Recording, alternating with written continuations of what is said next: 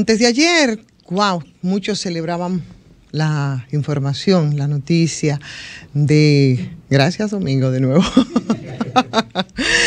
de cómo después de haber tratado, después de haber fallado con varios intentos, finalmente la República Dominicana consiguió un asiento ahí en el Consejo de los Derechos Humanos de la Organización de las Naciones Unidas, esto para el periodo 2024-2026, ¿no? que es el grupo de países que tiene a su cargo eh, promover sobre todo los derechos humanos y además lidiar con muchas situaciones, situaciones incluso donde eh, se vulneran los derechos en cualquier parte del mundo.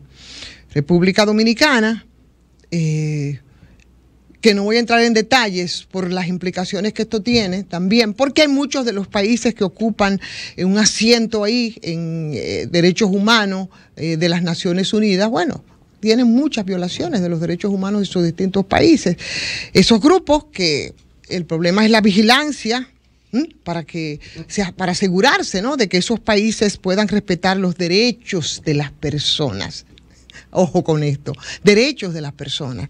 Yo creo que eso nos coloca en una situación bastante difícil y no me voy a quedar ni voy a hablar sobre, por ejemplo, las implicaciones que tiene en el país en términos de derechos humanos, la cantidad de, personas que mueren de manera indiscriminada a través de los intercambios de disparos. Eso siempre ha sido y se ha hecho y se ha utilizado muy deportivamente en nuestro país, tan deportivamente que algunos de los que tienen en su haber el mayor averaje en muertes por intercambios de disparos, se dan el permiso incluso de estar en los medios de comunicación ofreciendo recetas eh, respecto al tema de cómo combatir la criminalidad y la delincuencia, cuando históricamente lo han hecho precisamente violando los derechos humanos. No, no, no, de eso no es de lo que voy a hablar.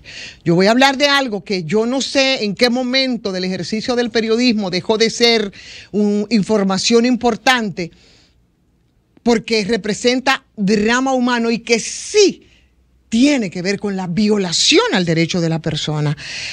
Hace aproximadamente 20 días, una familia de ahí, de San Cristóbal, específicamente de Mucha Agua, de Nigua, gente pobre, gente, mucha agua. gente pobre, sí, así mismo en Cambita, mucha agua, ahí en una comunidad, una comunidad de gente pobre, de gente vulnerable, de ningunos ninguneados, de esos que probablemente no son noticias ni son los que ocupan los grandes titulares. Una persona que desapareció. En principio, eh, esa era la denuncia de que había desaparecido una joven de 30 años, Cristina Martínez, así se llama, con dos hijos, fruto de su vulnerabilidad. ¿Qué es por partida doble en este caso? Cristina Martínez, además de tener comprometida todo el tema de su salud mental, también es pobre. Por tanto, Cristina no es noticia ni lo que ha ocurrido con Cristina, mucho más allá de ese recorrido que hicieron sus familiares. Esas fueron las primeras informaciones que llegaron respecto a este caso, a esta mujer de San Cristóbal, que habría sido expatriada a Haití conforme a los datos disponibles, pero que ninguna institución reconoce. Pocas personas, pocos medios han tratado el tema.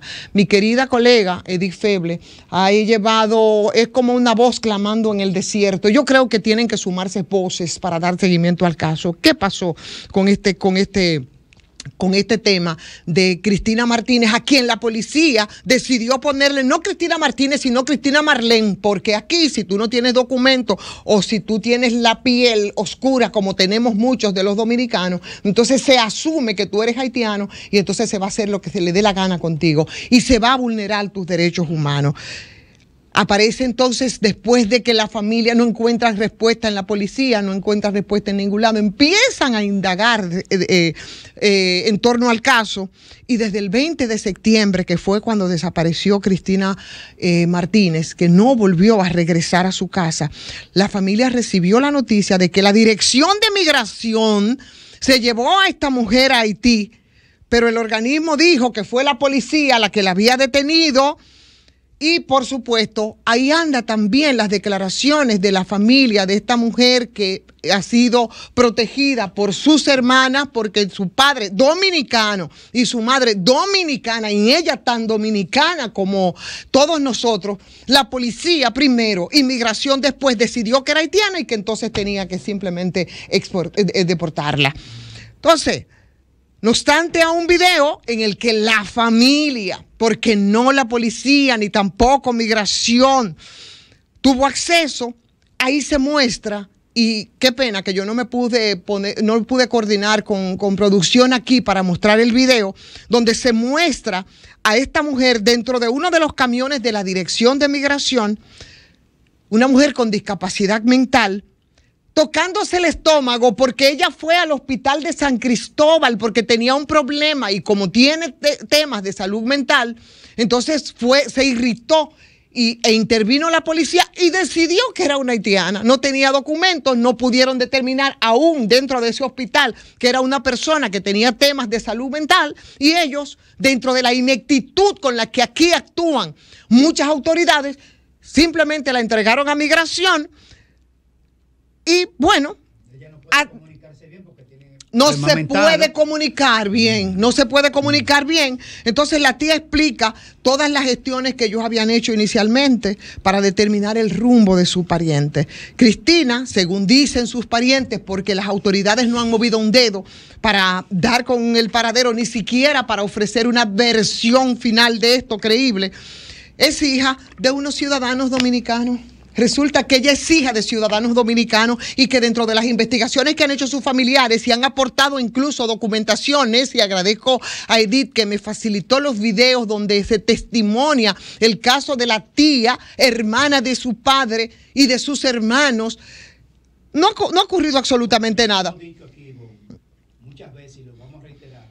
Que todo transporte de deportación de migraciones debe tener cámara incluida en su sistema de entrada y salida. Entonces, la vida de Cristina no ha sido fácil, por lo que dijimos antes, sus padres ya fallecidos, cuando todavía no alcanzaba la mayoría de edad, toda su vida desde siempre fue una paciente psiquiátrica, dos hermanas que velan por su cuidado, dos hijos que procreó en condiciones propias de su misma vulnerabilidad pero a nadie le importa, porque Cristina es parte de esa legión de ningunos ninguneados que en este país no merecen ningún tipo de atención ni titulares en los diarios. La familia cuenta que hace pocos meses experimentó una de esas crisis como ya se le conocen y que esa vez casi le costó la vida, que incluso Cristina fue asistida por el 911 y por el nivel de indefensión no pudo comunicarse con su familia. Ahora, ¿qué dice migración? La, migración dice que ellos no saben absolutamente nada, pero la familia documenta a Cristina dentro de ese vehículo y además la policía que ahora también se lava las manos y dice y muestra documentos donde fue entregado dentro de un grupo de cinco a migración y migración simplemente le, agregó un tercer elemento a la vulnerabilidad de esta mujer generó al menos dos documentos y ahí eh, se logró obtener eh, la familia eh, con la propia institución una constancia de que el día 20 de septiembre, ahí en el destacamento de Cambita, y se hizo otra entrega a migración por parte de la policía y en los dos documentos que recibió la familia, documentos policiales, aparece, pero en vez de Cristina Martínez, ellos decidieron que era Cristina Marlene porque con, cambiándole el apellido, interpretándolo como les dio la gana, ellos entonces le asistían eh, la condición de indocumentada, en este caso haitiano, y bueno, Migración sostiene que fue la policía que se llevó a la dominicana con problemas mentales. ¿Para dónde se la llevó? ¿Para dónde se la llevó? ¿Dónde se encuentra Cristina? La policía dice que la entregó a migración. ¿Qué hicieron entonces con ella? Entonces, en medio de ese vaivén en el que se encuentra, señores, aquí nosotros tenemos que concluir en esto. ¿Derechos humanos de qué? Óyeme, derechos humanos de qué en este caso? Porque mientras la policía se defiende, migración lo niega, Cristina no aparece. Sol 106.5, con la mayor variedad de contenido, información, entretenimiento e interacción en una sola estación. Cobertura total, disponible para ti en la radio y en las plataformas digitales.